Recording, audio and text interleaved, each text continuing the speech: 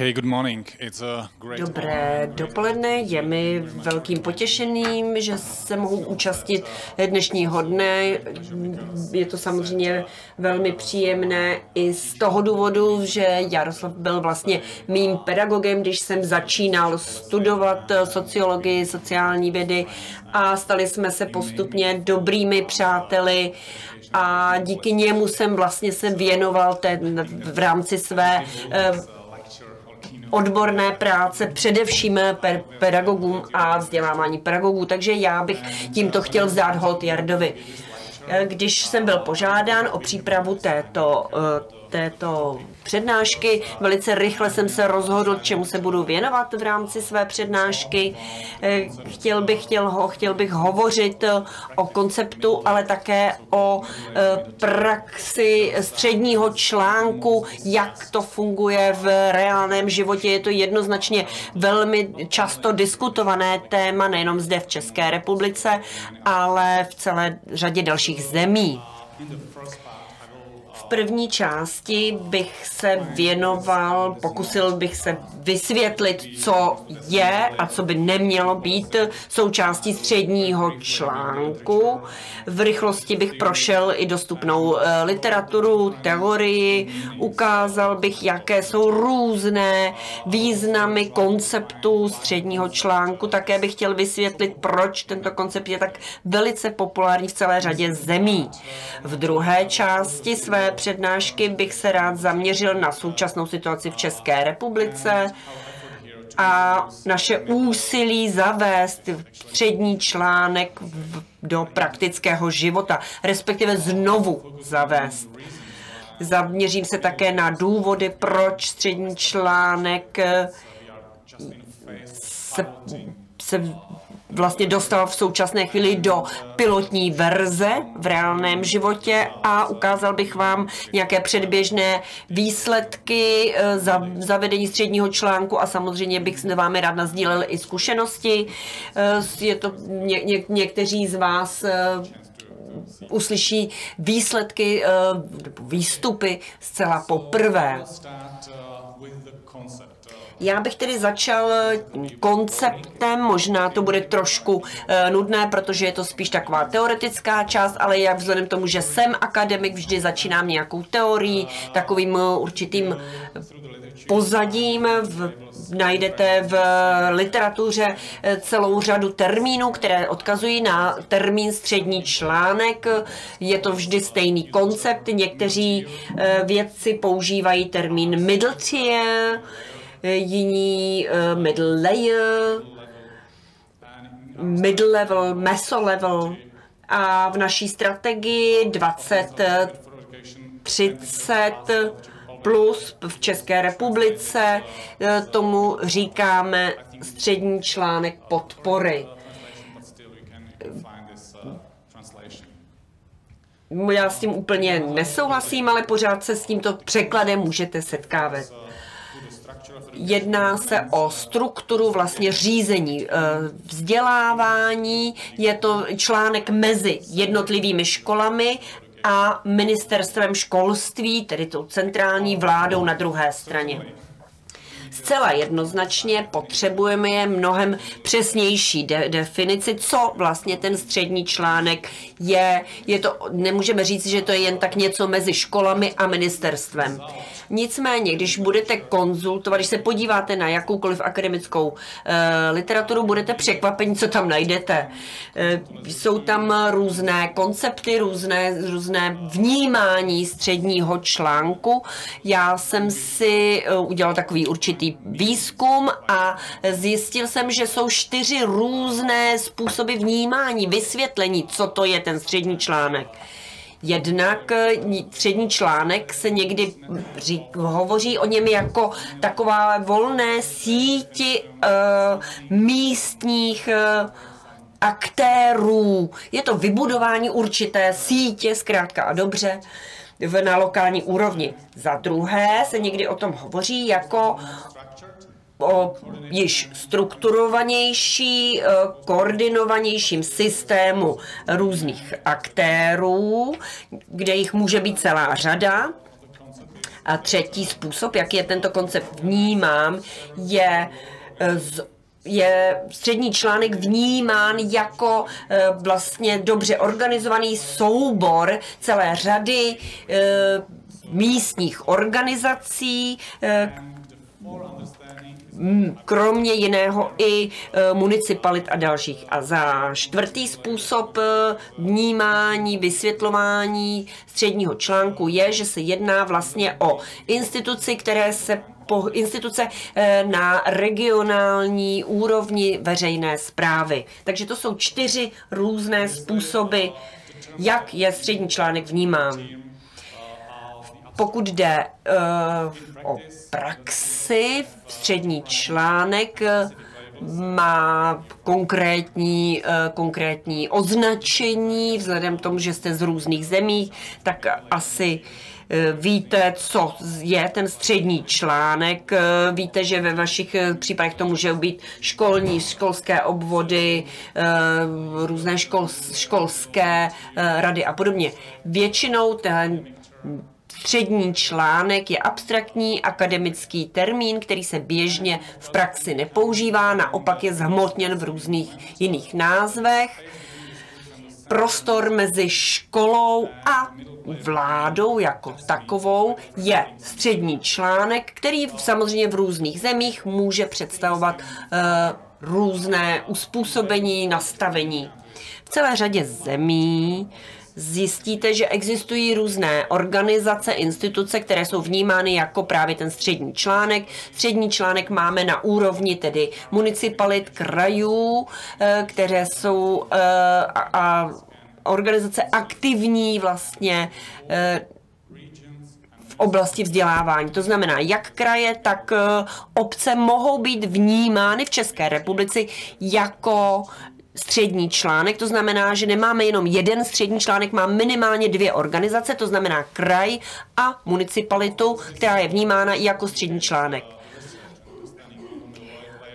Vnímání, pochopení té toho středního článku eh, v rámci výzkumu. Ty výzkumy jsou eh, velice konkrétní, nejsou abstraktní, jsou to eh, empirické výzkumy prováděné ať už na úrovni školských obvodů v Kanadě, u nás municipalit a dále. Takže je velice důležité dobře vnímat, jak, co dělá střední článek, jak dalece může být účinný. To všechno zjistíte v těch výzkumech. Nicméně srovnávání zkušeností různých zemí je velice obtížné, protože uh, úloha například školských obvodů z v Kanady, v USA je úplně jiná než úloha a zodpovědnost uh, municipalit, regionů, krajů, měst v Evropě. Školské obvody v Americe i v Kanadě jsou vnímány jako, škol, jako ten střední článek, to samé jako je tomu v případě municipalit u nás.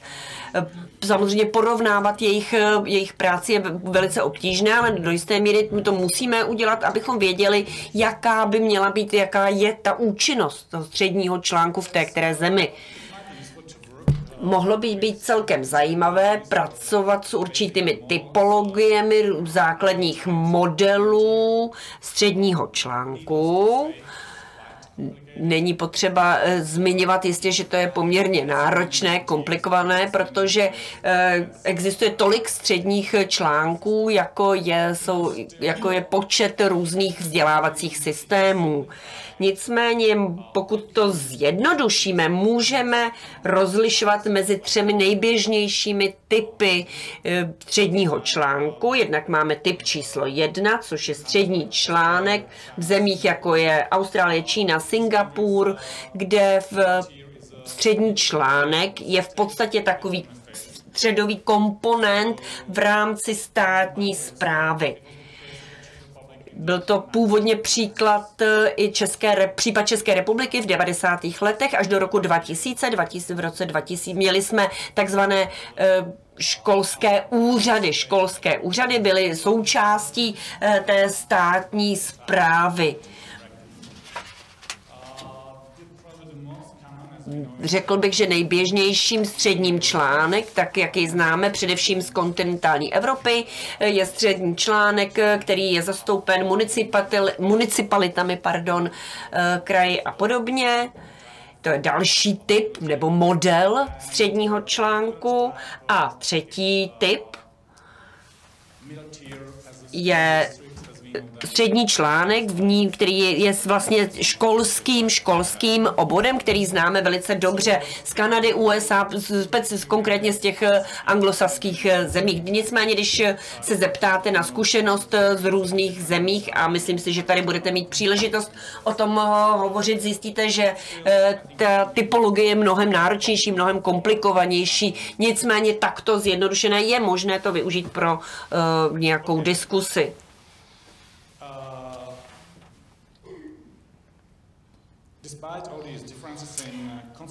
I přesto, že tady jsou různé rozdíly mezi přístupy, koncepty, je zajímavé, jak eh, velice populární se tento koncept středního článku stal v nedávné době.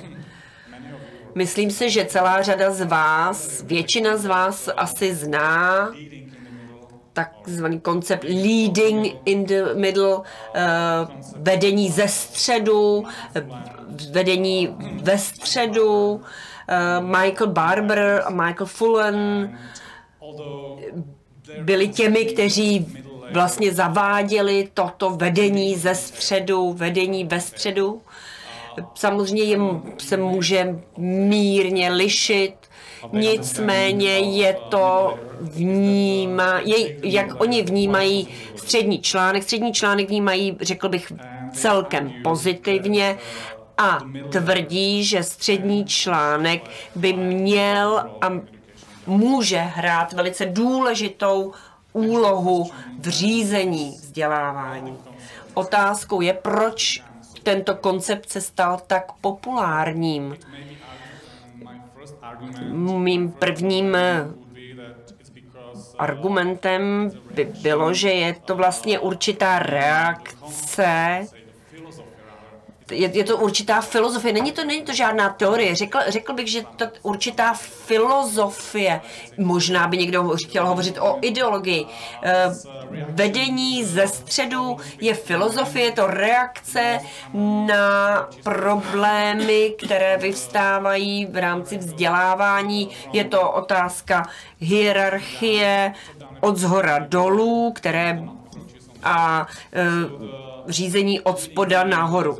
To znamená, že vedení ze středu je vlastně reakce na oba tyto extrémní přístupy, které ani z nich, jeden z nich není dostatečně uspokojící. Ze zhora dolů, tam eh, je to příliš byrokratické, neefektivní, neúčinné, eh, přístup ze dola nahoru, eh, jsou, tyto kry, jsou kritizovány, protože jsou ne, neefektivní, neúčinné praxe, ty inovativní postupy není možné dostatečně dobře šířit dál více než za hranice poměrně malé oblasti. To může být jedno vysvětlení proč koncepce středního článku řízení je tak populární v současné době. Ale nicméně Stávající oblíbenost tohoto středního článku je stále poněkud překvapující, protože když se vrátíme do nedaleké historie, tak budete překvapeni, že střední článek, například školské obvody v USA nebo v Kanadě, byly chápány jako jako nepříliš podstatné a dokonce nežádoucí prvek ve správě a řízení. Celá řada subjektů i odborníků z praxe v 80. a 90. letech minulého století měli pocit, že zásadně důležití jsou učitelé a e, pedagogičtí pracovníci ve škole, zatímco všichni ostatní jsou považováni za nadbytečné. Tady máme z 90. let jednu uh, definici, která říká, že škola je životně důležitý systém pro realizaci star je, je tvůrcem politiky a hlavním plácem a nic mezi tím není velmi důležité. Čili eh, obecné chápání bylo, eh, že nejdůležitější jsou studenti, učitele, pedagogičtí pracovníci ve škole, ti jsou ve vzdělání důležití a pak samozřejmě máme ústředí, které řídí politiky a mezi tím nic není důležité. Takže je poměrně zajímavé si připomenout, jak to bylo v minulých letech, protože já když cestuji, tak um, zjišťuji, že někteří lidi jsou velmi překvapeni stávající koncepcí. Uh, Jedno vysvětlení je, že se jedná o reakci na neuspokojové řízení na základě těch přístupů ze zhora dolů a stola nahoru a také možná je to eh, posun v myšlení a v náladách a Samozřejmě veřejné politiky vždycky podléhají různým změnám od centralizaci po decentralizaci a obráceně. Ne, tak tím, jak stárnu, tak zjišťuji, že ty změny jsou nevyhnutelné a že v různých dekádách jsou různé koncepce oblíbené a jiné méně oblíbené.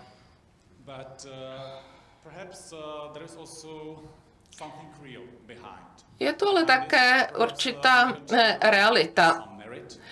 Eh, možná, že něco na tom středním článku je. Může být užitečný ve e, systému řízení a zprávy školského systému.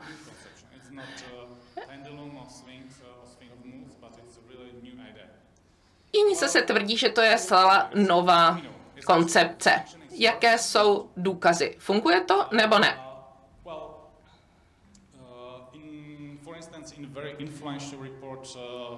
Ve velmi významné zprávě od společnosti McKinsey, eh, kteří zkoumají nejlepší vzdělávací systémy, tak tam naleznete tuto zajímavou pasáž. Co jsme neočekávali, byla zásadní role, kterou střední článek hraje mezi ústředím a jednotlivými školy.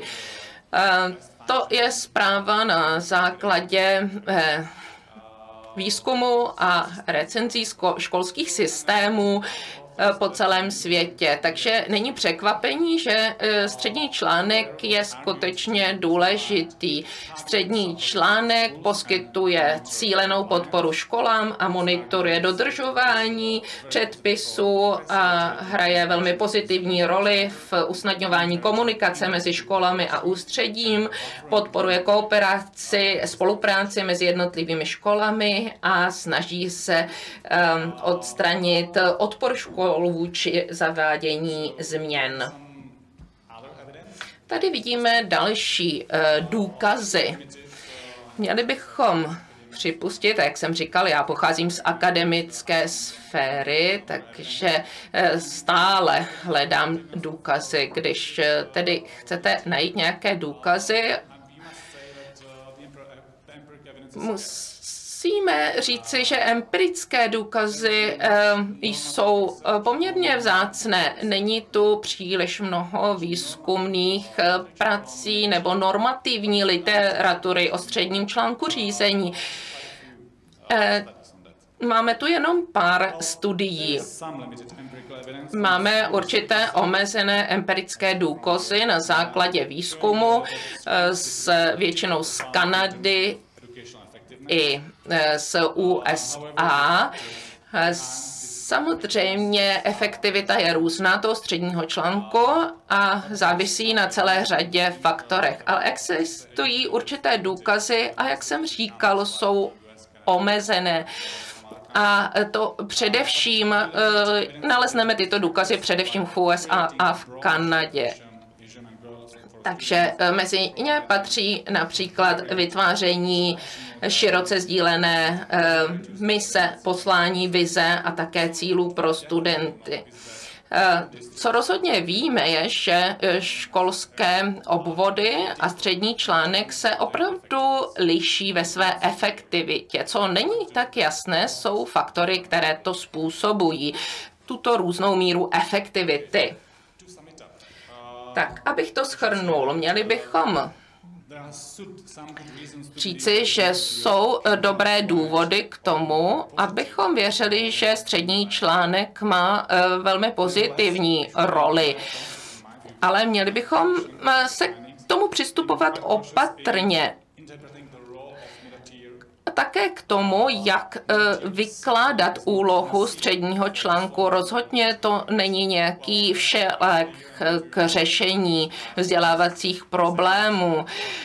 Asi to není žádné překve, překvapení.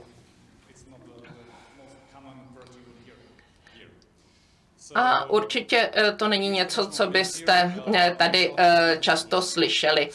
Každopádně střední článek není cíl sám o sobě, ale prostředek. Je to prostředek, protože pokud je zaveden správně, může mít pozitivní roli. Ale pro mnoho tvůrců politik to je cíl sám o sobě a to si myslím, že je falešná strategie věřit, že pouze eh, zavedení středního článku vyřeší veškeré problémy.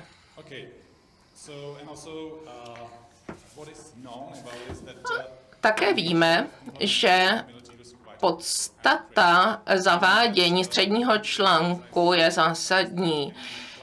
Střední článek může hrát pozitivní roli, ale může to být pouze byrokratická zátěž a nemusí potom hrát příliš pozitivní roli. Z výzkumu víme, a je to poměrně pochopitelné i z praxe, že zásadní roli hraje důvěra. Důvěra je zásadní mezi lidmi ze středního článku řízení a lidmi ze školy. Čili důvěra je skutečně zásadní faktor,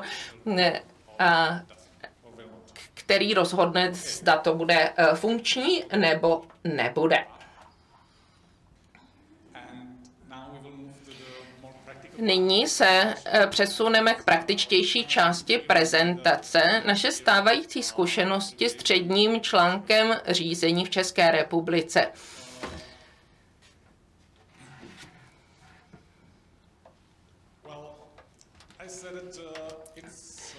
Říkal jsem,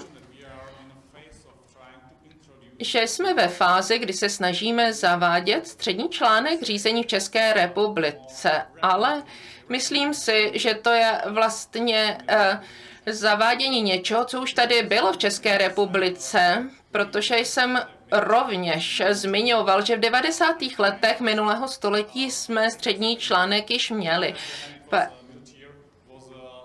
A tento střední článek byl součástí uh, státní zprávy.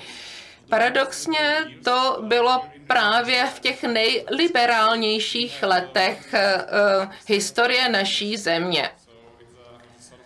Je to tak trošku paradox. Nicméně zavádění středního článku uh, řízení je plánováno v nově přijaté strategie vzdělávací politiky 2030+, plus,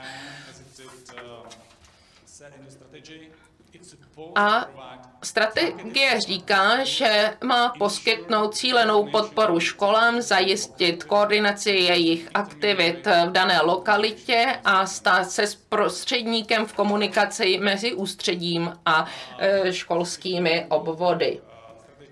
Když si budete pročítat strategii, tak eh, zjistíte, že by měla mít jen několik úkolů, které by eh, měly být naplněny, ale je tu opravdu hodně těch úkolů a nebudu je všechny číst, jenom si jich několik vyberu. Například má poskytnout přímou metodickou podporu, podporovat vzájemnou spolupráci a komunikaci, má také poskytnout právní podporu eh, týkající se vzdělání a podporovat pozitivní atmosféru ve škole, čili eh, řadu úkolů. Eh, je, je tu celá řada úkolů pro střední článek řízení ve strategii a mohu říci, že na jedné straně jsem byl poměrně překvapen, kolik lidí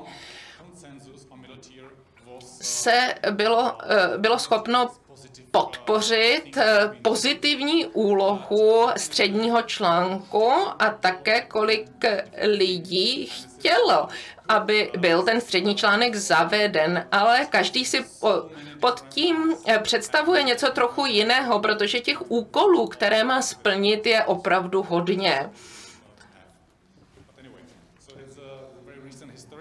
Nicméně to je eh, poměrně nedávná historie. A jak jsem řekl, eh, ještě bych měl vysvětlit, eh, proč jsme zavedli pilotní projekt při zavádění středního článku.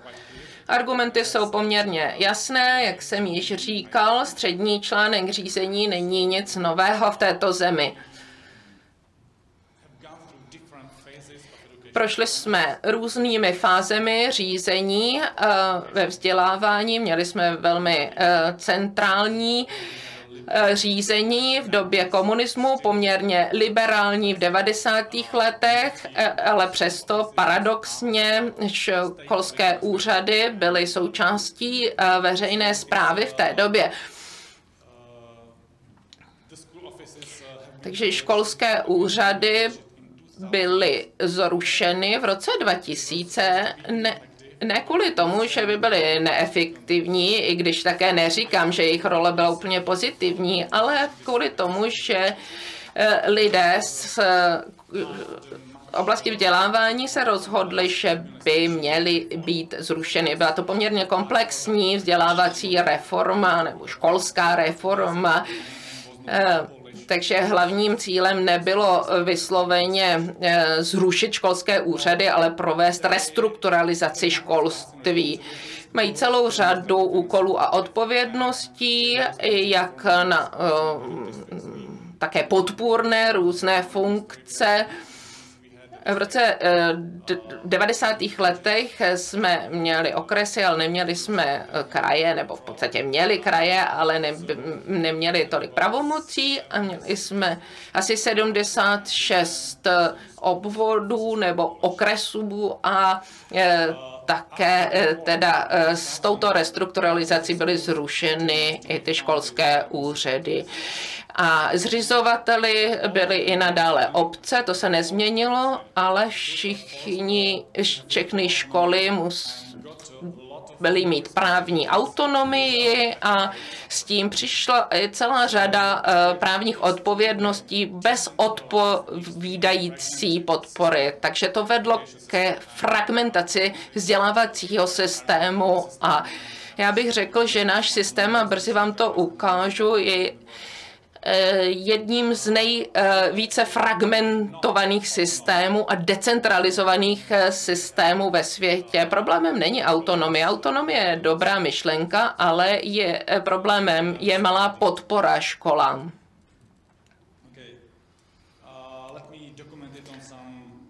Rád bych to doložil několika čísly, jak jsem říkal, v České republice, jak většina z vás ví, Základní školy jsou zřizovateli obce a u středních škol to jsou kraje. Máme tady asi 4192 základních škol, z nichž poměrně eh, velká část, 28%, má méně než 50 studentů. Eh, máme asi 6,5 obcí z nich 2500 eh, založilo eh, jednu základní školu, takže máme obrovský počet zřizovatelů.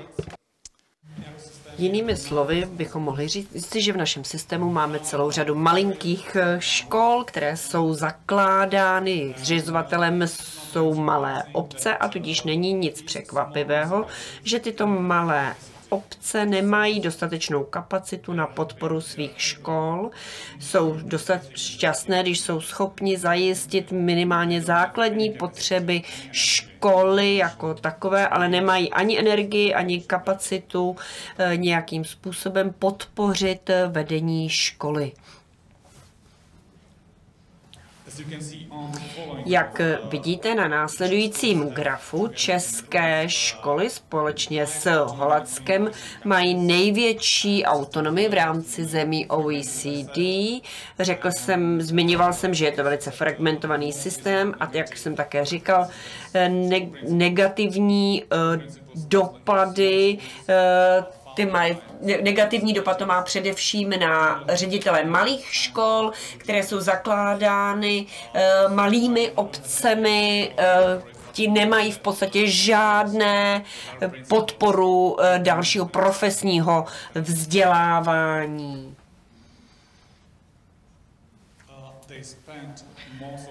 Většinu svého času se zabývají administ, takový ředitelé se zabývají administrativou, eh, techni- řešením technických problémů, nemají dostatek času ani na to vést eh, své pedagogy, své učitele a podporovat je dále.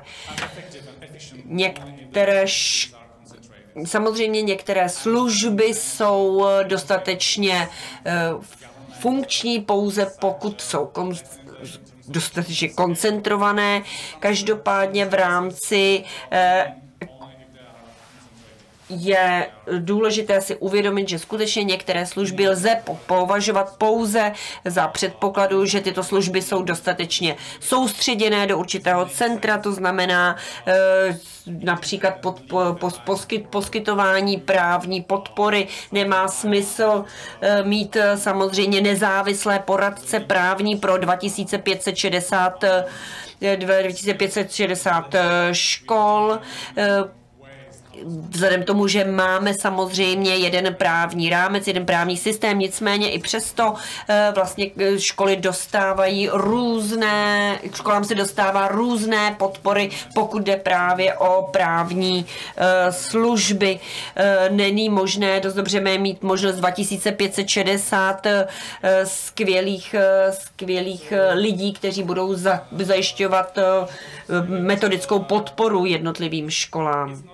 Asi bych také měl zmínit, že ten obrázek není nijak jednoduchý, protože máme samozřejmě větší municipality, města, kde jsou zřizovateli eh, třeba 20 škol a jsou schopni vytvořit podporu pro tyto školy, nicméně výsledek je zjevný. Eh, je tady velký rozdíl mezi školami, pokud jde o dostupnost zdrojů. Některé školy, které jsou ve velkých městech, eh, kde v podstatě těch velkých městech eh,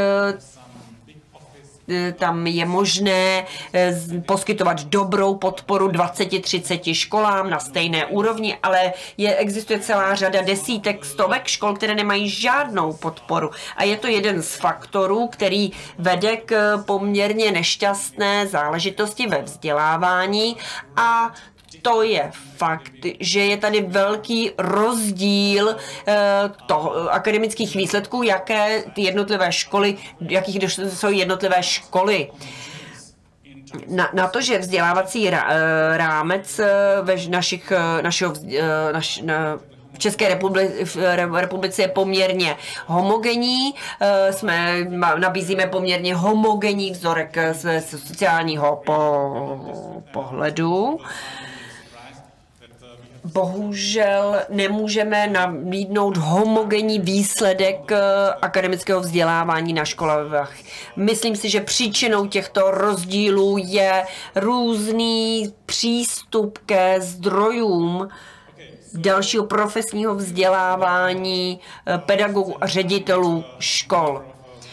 Já jsem zmiňo, zmiňoval pilotní, uh, pilotní režim zavádění středního článku. Já jsem se na tom samozřejmě podílel, takže to může být trošku uh, zaujatý pohled, protože jsem samozřejmě na tom se podílel, ale pokusil bych se uh, tady ilustrovat pohled eh, spíš z úrovně ministerstva.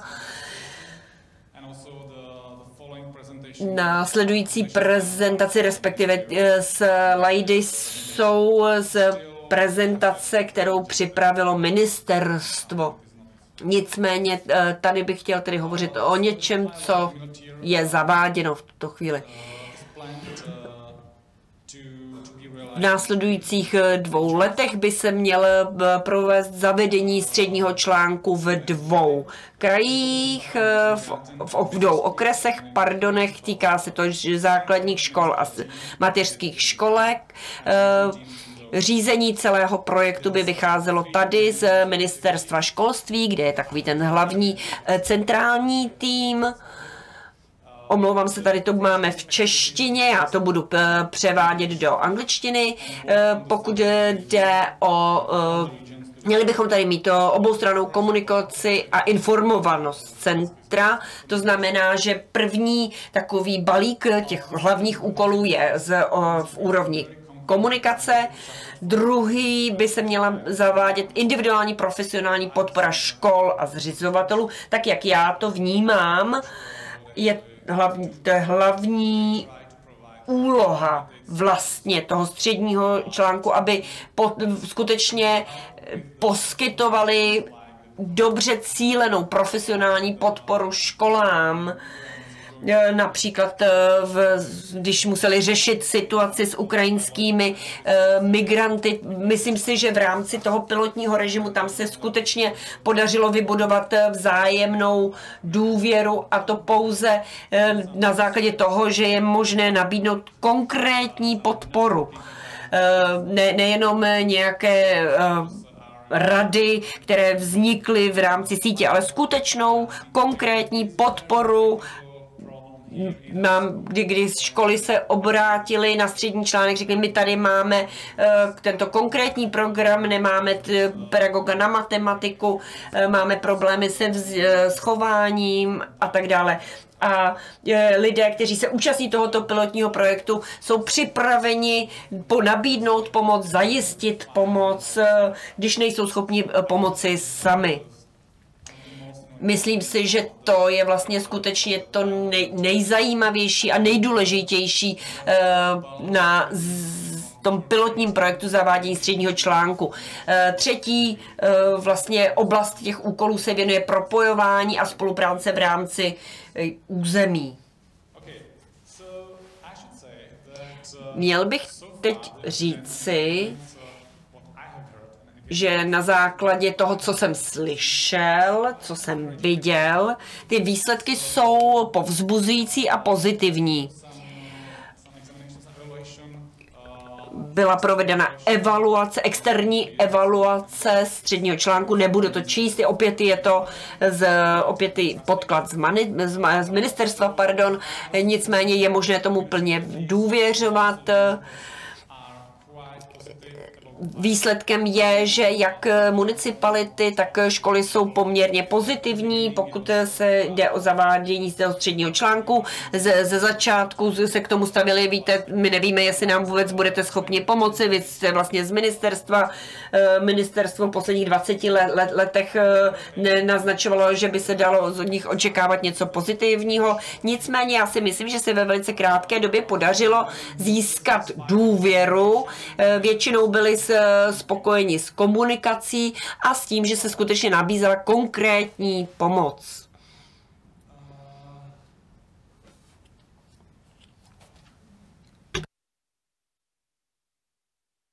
Nevertheless, and I'm going to the end of the presentation, nevertheless, despite uh, pokud jde o e, ty pozitivní, pozitivní zjištění, podle mého názoru bychom neměli být příliš, e, příliš optimističtí. Já nechci být příliš optimističtí, i když e, ty výsledky naznačují velice pozitivní vnímání. Podle mého názoru ty pozitivní výsledky pilotního projektu těch bylo dosaženo především díky lidem, kteří se podílejí na pilotním projektu, kde se podařilo zajistit skvělé, skvělé lidi, lidi nadšené, byli to většinou původní ředitelé škol, věděli, když že je to pro ně příležitost se posunout někam dál, eh, nazdílet svoje znalosti, svoje do, dovednosti a eh, schopnosti. Byly to skutečně zapálení, zapálení, zkušení lidé ale jsou to skutečně lidé, kteří jsou výjimeční, takže ten pilotní projekt je tím vlastně eh, výjimečný.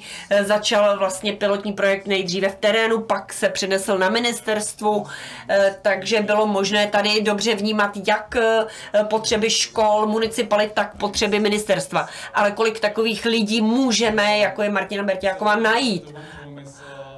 V reálném životě. Takže jeden problém toho pilotního program, programu, projektu je vlastně to rozšíření. Potom jsou tady další potenciální problémy než to rozšíření.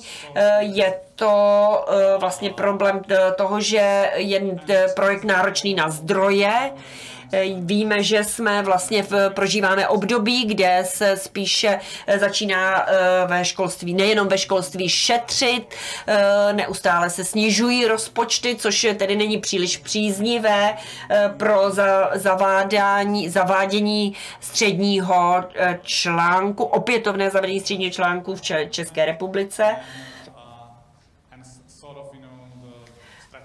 Ví, víte, že strategie vlády je nějakým způsobem snižovat eh, veřejn, vý, veřejné výdaje a počet eh, vlastně administrativních pracovníků, úředníků. Dále by tady mohl eh, dojít k potenciální byrokry, byrokratizaci celého systému, jednak je něco jiného, když máte několik málo lidí velice dobře motivovaných, kteří se chtějí podívat na něčem nového a potom, když musíte eh, mít poměrně hodně osob, které se v eh, středním článku budou věnovat a nemusí to být lidé tolik motivovaní. Nicméně nejobtížnější bych viděl, jako největší problém bych viděl nejenom eh, rozdíly v potřebách škol, ale rozdíly i v typech škol, Víme dobře, že rea, rea, v, reálu, v reálném životě Česká republika není homogenní. Eh, víme eh, dobře, že jsou zde různé požadavky, potřeby v různých oblastech je něco jiného vytvářet střední článek ve velkých městech jako Plzeň, Praha, Ostrava, kde už je dobře v zásadě nastavený fungující střední článek a tam tady ani nic moc nepotřebujeme tak stavět. Ale pak jsou i regiony, kraje, okresy, které hrají důležitou úlohu kde by bylo do, vhodné vytvořit aspoň malé školské úřady, malý střední článek, abychom skutečně mohli poskytovat pomoc. Je to tedy, to jsou ty nejnáročnější úlohy, nejnáročnější problémy, kterými by bylo, by bylo potřeba se e, potýkat. Já nejsem přesvědčen o tom, že by bylo možné mít jednotnou strategii pro e, celou, celý stát. Takže to si myslím, že je skutečně velká výzva. Asi nebude nic překvapujícího, když řeknu, že eh, diskuze o středním článku je pořád otevřenou diskusí. Neexistuje žádné jednoznačné souhlas nebo nesouhlas pokud jde o souhlas se středním článkem, já jsem zmiňoval, že jsem byl skutečně překvapen tím, že existuje poměrně eh, velký eh, jednotný pohled v rámci našeho vzdělávacího systému, přístup eh, rozhodnutí využít ten střední článek, pokud jde o vedení, řízení škol. Byl jsem skutečně překvapen, že všichni, nebo celá řada vlastně uh, lidí tento nápad, tuto ideu podporovala, souhlasila s tím, že to je dobrý nápad.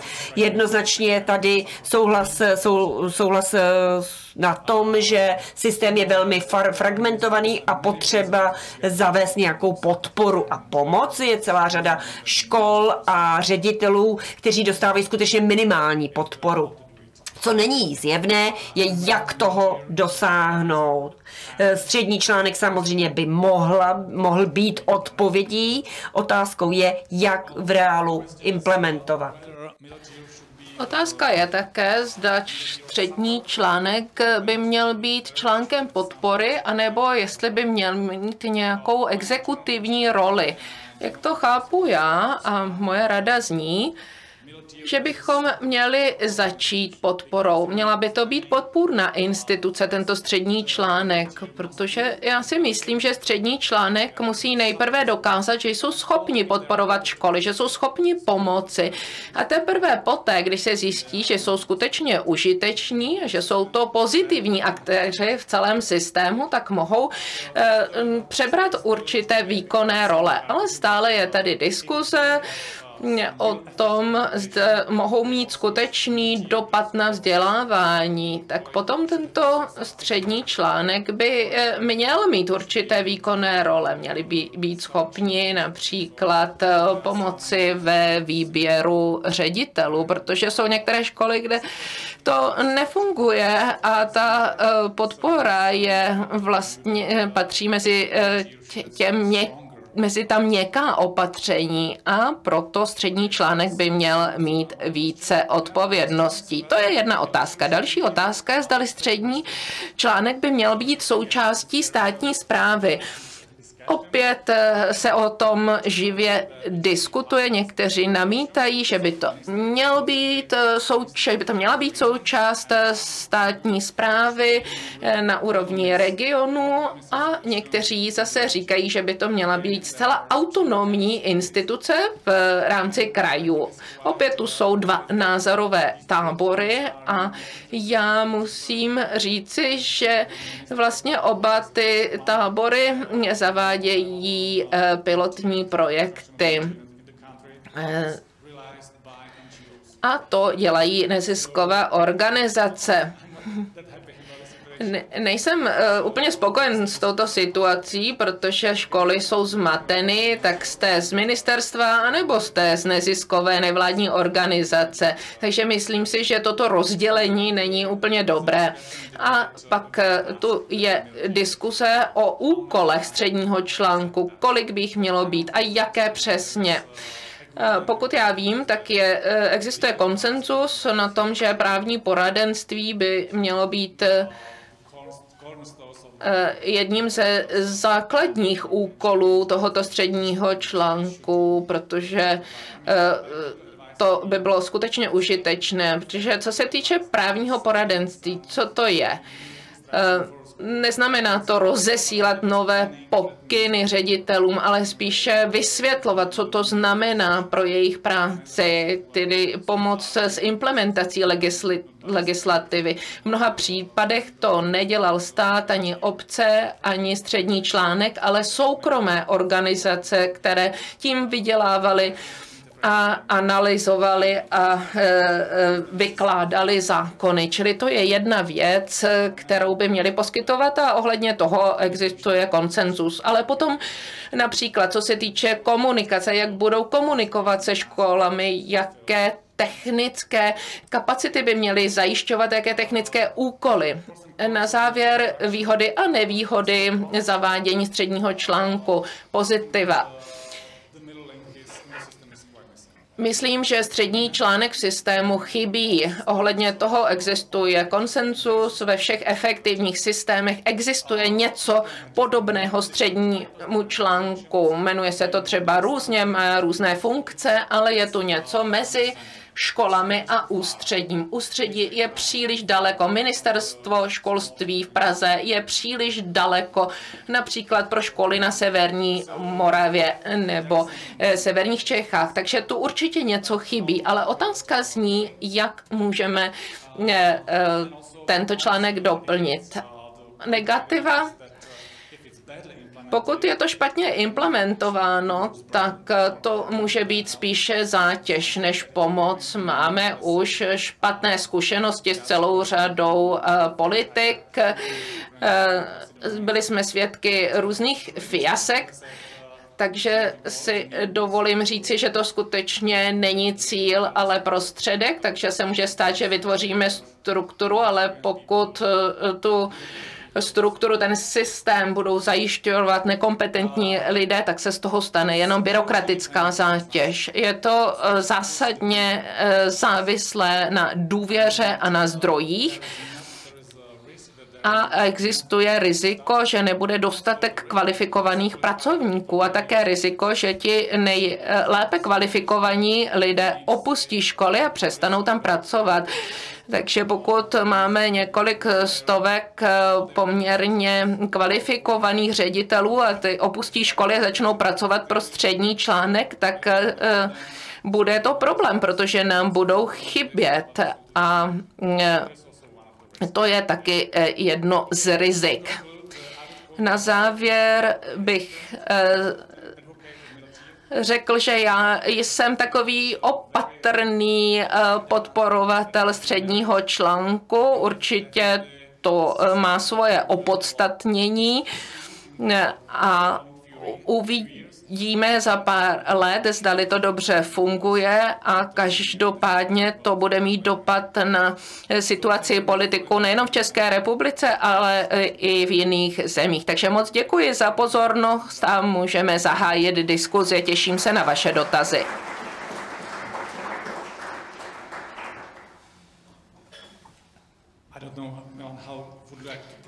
Já nevím, Milane, jak bychom měli pokračovat.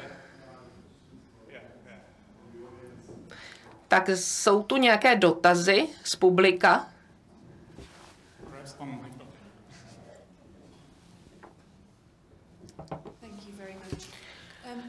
Moc děkuju.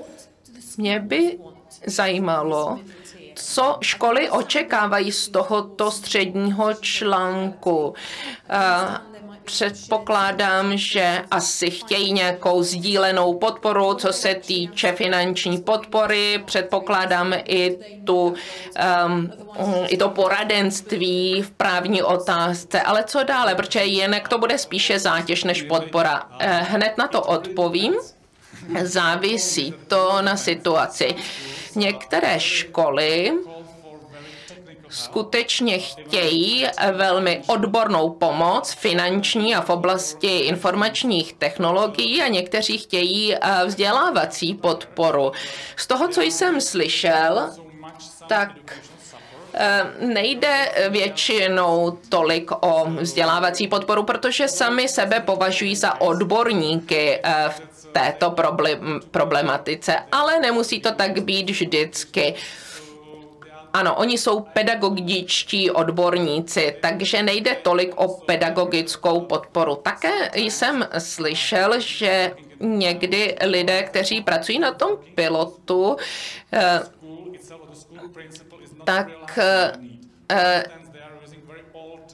je to celá řada eh, ředitelů, kteří si neuvědomují, že něco potřebují. Například v oblasti informačních technologií mají třeba zastaralé technologie nebo zastaralý Excel, zastaralé pro, programy, software, ale přesto si ten problém neuvědomují. Takže je potřeba asi začít s identifikací potřeb, jak je také vidí ředitele.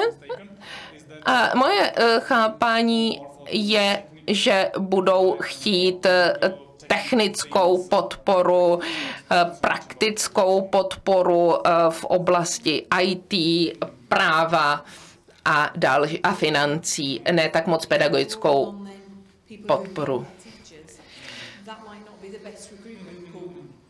Bohužel začátek dotazu nebyl na mikrofonu. Eh, na základě pilotního projektu víme, že tam jsou lidé v pilotu, eh, které, eh, kteří jsou na různých pozicích a pracují v různých pozicích. Nejsou to pouze ředitelé škol z oblasti IT, financí, práv a podobně.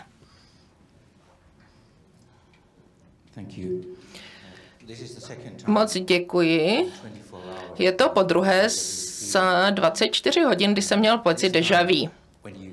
Tentokrát, když jste hovořil o středním článku, tak jsem si uvědomil, že jsme dělali průzkum pro Finsko, Českou republiku. Bylo to mezinárodní průzkum. Byla to agentura PAQ. Bylo tam 70 hlavních otázek, jak funguje zpráva a řízení ve školství. Myslím si, že probíhá ještě další kolo a já chápu to tak, že vy se eh, snažíte provádět obnovu eh, vzdělávání a eh, vedení ve školství a myslím si, že děláte skvělou práci. Naše zpráva se skládala ze 36 zpráv a podobné zprávy jsme obdrželi i z dalších zemí. Je tu celá řada různých dat, které jsou důležité a bylo zjištěno, že se jedná opravdu o fra- systém velmi fragmentovaný ze zbytky nějakých centralizovaných prvků a vy se snažíte to napravit.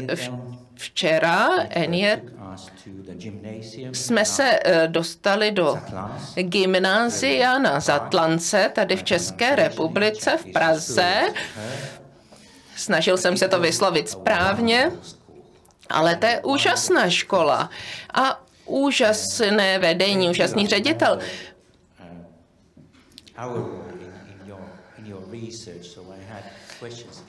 Tak já bych se na základě našeho výzkumu chtěl zeptat, jsem se ptala, pardon, byla to ředitelka, já jsem se ptal, jak si představuje tento střední článek a co by ocenila. Ocenila by autonomii, autonomie je důležitá a že struktury a systém není tak důležitý, ale důležitý je dialog. Ten by měl být zásadní a dobře fungující. A moc děkuji za vaši skvělou prezentaci. Moc děkuji za tu poznámku. Myslím, že to byla spíše poznámka než otázka.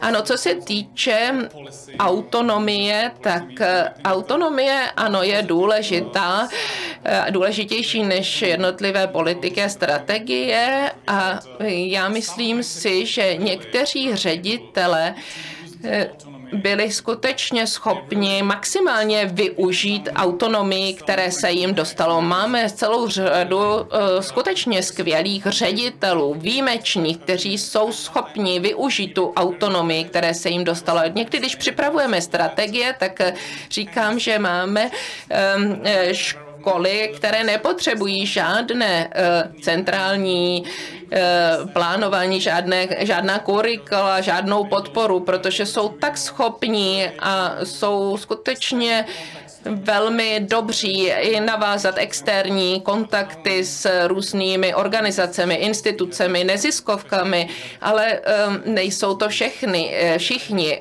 Um, máme opravdu velký počet škol v České republice, takže bychom měli vytvořit systém, kde na jedné straně podporujeme ty ředitele, kteří to potřebují a neměli bychom uh, zatěžovat ředitele nějakou zbytečnou další zátěží. Po 20 deseti letech zkušeností, kdy všechno eh, se odehrává hlavně na úrovni krajů, tak bychom neměli rušit to, co dobře funguje. A souhlasím s vámi.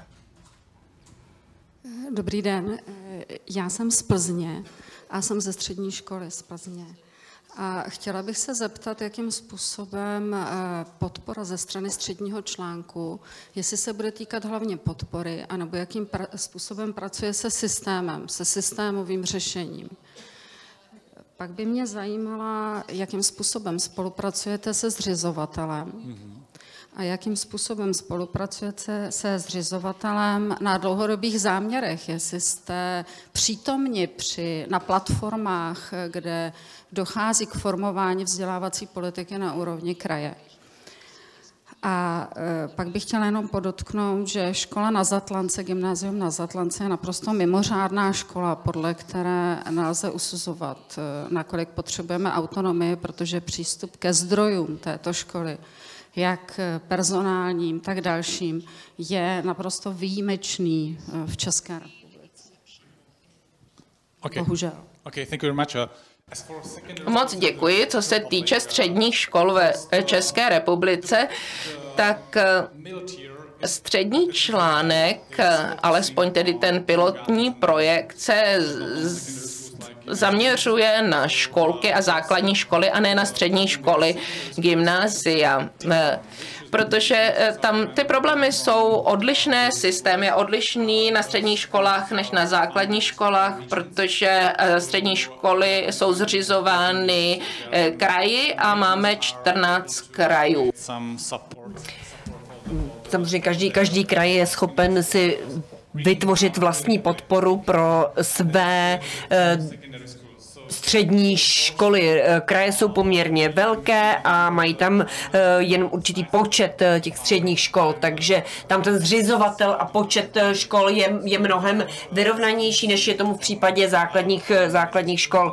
Takže náš pilotní projekt se soustředí především na základní školy a mateřské školy, nikoliv na střední školy. Víme velice dobře, že vnímání krajů a jejich postoj uči vzdělávání. Samozřejmě my nemáme jeden jediný vzdělávací systém. Řekl bych, že máme 14 různých systémů, protože máme 14 různých krajů. Každý kraj má trošku jiný přístup ke vzdělávání. Pokud jde o poskytování podpory, jsou kraje, eh, kde jsou velice konstruktivní, eh, mají, mají velké školské úřady, kde mají celou řadu eh, lidí, kteří podporu poskytovat mohou a chtějí. Eh, v jiných krajích to vůbec nefunguje. Je to opět otázka zdrojů. Zdroje jsou samozřejmě velkým problémem. Některé školy jsou schopné eh, si zajistit dobré zdroje, některé nikoliv. Může se to skutečně velmi lišit.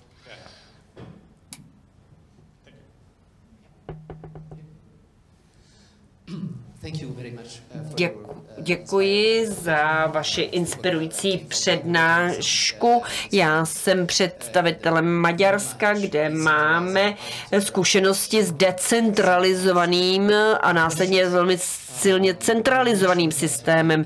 Vy jste zmiňoval, že implementace eh, středního článku je velice důležitá. Jak to plánujete eh, udělat? Jak to chcete rozfázovat? Jak chcete využít zkušenosti eh, z toho pilotního projektu, abyste mohli zajistit sofistikovaný implementační proces co školy a ti vedoucí škol mohou v rámci toho udělat, v rámci toho plánování zavedení středního článku. Děkuji mnohokrát. Víte co, já, nej, já nejsem členem ministerstva, nemohu plánovat, neplánu, neplánuji, nejsem součástí uh, toho týmu, který bude rozhodovat o tom, co se bude stát.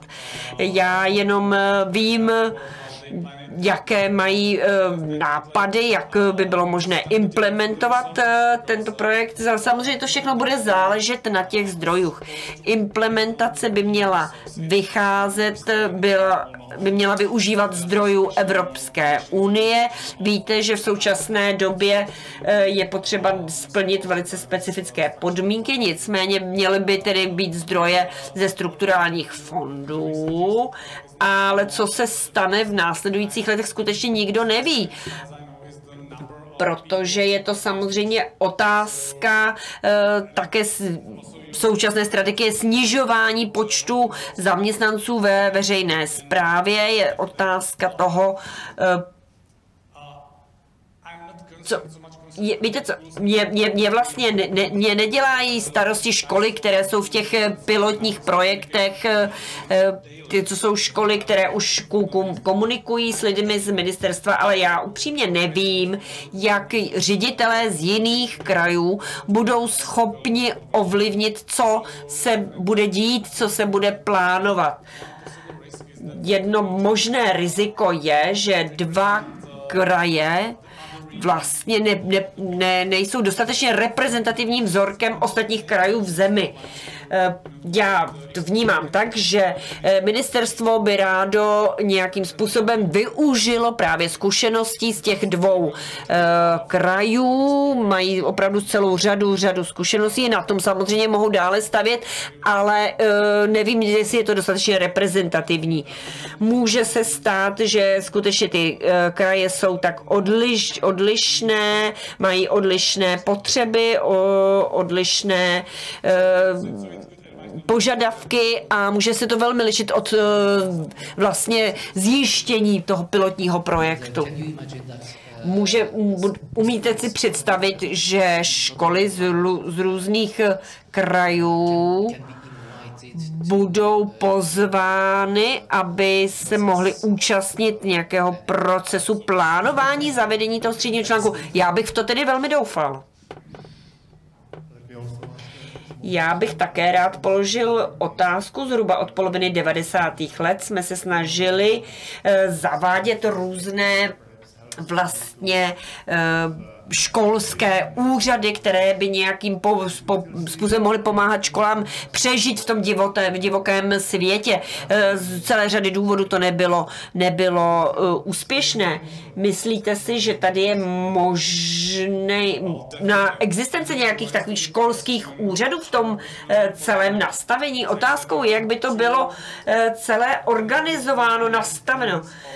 Jsou tady dru, dva, dvě, dvě různé způsoby vnímání toho eh, středního článku. Jednak, že by to byl součástí uh, té veřejné zprávy a potom by to byl, nebo by to mohl na druhou stranu být takový malý školský úřad, kde eh, by to byl vlastně celý soubor aktérů v daném kraji ti, ti, kteří připravují pilotní projekt, jsou velice otevření, jsou připraveni spolupracovat se všemi aktéry, organizacemi v krajích, snaží se je zapojit, protože bez jejich podpory by to asi těžko mohlo fungovat. Ale o otázkou skutečně je, zda, zda ten střední článek bude spíš eh, na té straně eh, státní samozprávy, nebo eh, zda bude spíš krajsky orientován.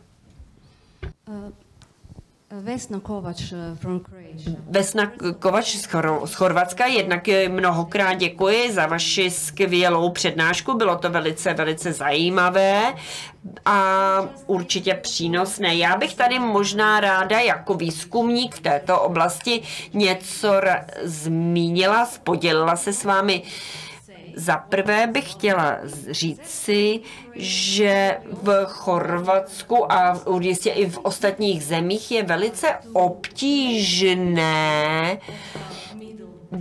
nějakým způsobem zmapovat obrázek toho středního článku. Je to velice komplikované pochopit, kdo je kdo, a to jak na té vertikále, tak na horizontále. Kdo je jak důležitý, jakou roli hraje pro úspěch či neúspěch vzdělávacího systému. To je možná první poznámka.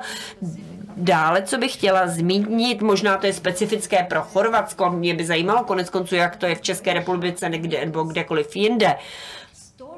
V Chorvatsku eh, ty úspěš, úspěchy a neúspěchy místních komunit, samozpráv eh, jsou často zmiňovány v médiích, takže my jako čtenáři ne, nebo uh, posluchači jakýchkoliv médií uh, máme představu o tom, jak která místní samozpráva je uh, pozitiv, má pozitivnější přístup ke školství a která méně pozitivnější přístup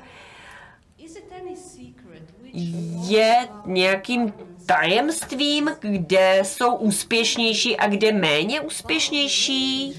Možná to vychází ze vzájemného vztahu mezi řediteli škol, eh, místní komunitou a místní samozprávou. Myslím si, že ředitelé by měli jednoznačně být schopni říci, co potřebují od té místní komunity, k podpoře svých škol a e, ta místní komunita, místní samozpráva by měla být podle mého názoru schopna reagovat na jejich, na jejich požadavky a představy. Dě, dě, dě, děkuji za uh, vaše, vaše uh, komentáře, jak už, se, jak už se já jsem zmiňoval, my máme velice decentralizovaný systém s vysokou mírou autonomie. Uh,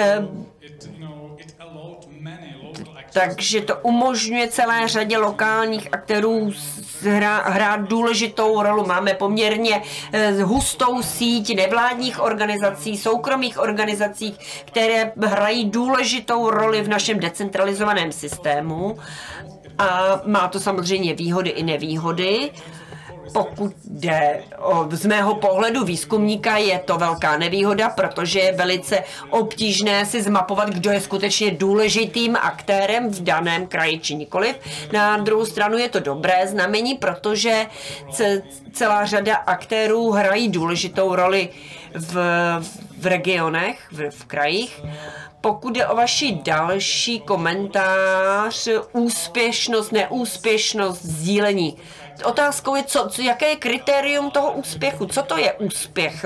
Můžeme mít různý náhled, různé vnímání toho, co je úspěšné, neúspěšné. V naší zemi nemáme žádné standardizované testování e, napříč kraji a celou zemí. To znamená, že my nemáme data, nemáme znalosti, nemůžeme porovnávat kraje, máme samozřejmě nějaká data, která bychom využít mohli, ale nejsou dostatečně spolehlivá.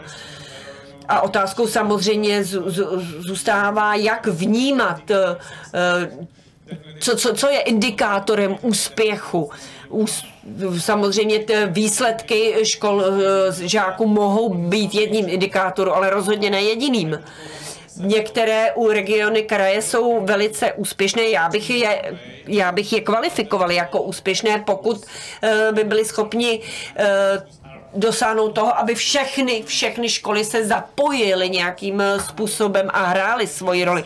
Takže to by mohlo být třeba určité kritérium úspěchu. Víme dobře z praxe, že máme v některých krajích skvělé jedinečné školy, jako právě ta zmiňovaná na Zatlance gymnázium, ale potom eh, něk, někde um, máte velice problémové školy ve stejném kraji, tak otázkou je, co, co to je vlastně ten úspěch, jak definujete úspěch, jak vnímáte úspěch.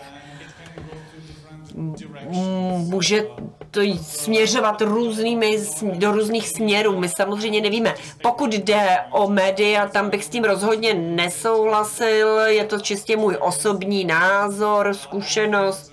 Nemyslím si, že eh, média by mohly nějakým způsobem vyzdvihovat eh, nejlepší školy a nejlepší ředitele, ale samozřejmě to je závisí. Máme skvělé školy, skvělé ředitele, kteří v životě nebyli médiích, eh, média si jich nikdy nevšimli a naopak nejsem si úplně jistý, že by, že by uh, snad eh, média měly nějakým, nebo nějakým způsobem propagovali ta, ta excel, ty excelentní školy. Tam bych byl skutečně velmi, velmi obezřetný, uh, pokud jde o prezentaci škol a ředitelů v médiích a nemůžu říci, že školy zmiňované v médiích jsou vždy těmi úspěšnými, nebo které bych já hodnotil jako úspěšné. Já jsem vlastně tím chtěla říci, že představitelé místní samozprávy byli v médiích a snažili se podělit o informace, jak podporují školy, jak si myslí, že jsou úspěšní. Tak eh, já vůbec si nejsem vědom, že něčeho takového by probíhalo v eh, České republice. Já jsem zmiňoval, že tady máme celou řadu skutečně malinkých, malinkých obcí, municipalit, které jsou zodpovědní za celou řadu oblastí, nejenom, nejenom vzdělání. Málo z nich si je přesvědčeno o tom, že jsou skutečně zodpovědními za vzdělávání a většina z nich o vzdělávání skoro nic neví. Já se obávám, že uh, nám končí uh, vyhrazený čas, takže od, poslední otázka. Já bych se tady chtěla podělit uh, o zkušenost komunikací se středním článkem, to by pro vás mohlo být celkem zajímavé. Já jsem ředitelkou základní školy v České republice. Před dvěmi dny před dvěmi dny jsem potřebovala pomoc jak vysvětlit určité právní rámec ve vztahu k naší škole. Eh, já jsem komunikovala e-mailem a se středním článkem a co bylo skvělé, byla rychlá, konzistentní odpověď, kterou jsem dostala zpátky během 10-20 minut a jako eh, ředitelka školy to je to, čeho jsem si nejvíce cenila. Bylo to konkrétní odpověď, rychlá odpověď a to je přesně to, co ředitelé školy, škol potřebují. Rychlou, konkrétní pomoc. A vy, nej, vy nejste z pilotního, regi, eh, z pilotního kraje. Ne, ne, ne, nejsem z pilotního kraje. Já jsem z oblasti střed, středních Čech. Ano, ano, slyšel jsem, že, že, to, že to funguje i v jiných, v, v jiných školách, že v momentě, kdy pošl, pošlete v zásadě eh, dotaz právě na ten střední článek, tak eh, vám poskytnou eh, podporu. Já si myslím, že je nutné, aby ředitelé českých škol věděli, kam se obrátit, na koho se obrátit, koho mohou kontaktovat z toho středního článku. Já jsem tuto, eh, tuto informaci našla na facebookových eh, stránkách eh, a ta, ta informace byla skvělá, užitečná, takže pak vlastně vy, vy na ten střední článek se můžete dostat jak už přes Facebook, tak přes e-mail a myslím si, že to je opravdu dokonale. Vážení kolegové, omlouvám se, čas skutečně běží velmi rychle. Eh, příspěvek byl velmi inspirující, přínosný. Arnoštovi bych velmi, velmi rád poděkoval za eh, jeho účast na naší konferenci. Děkuji, děkuji.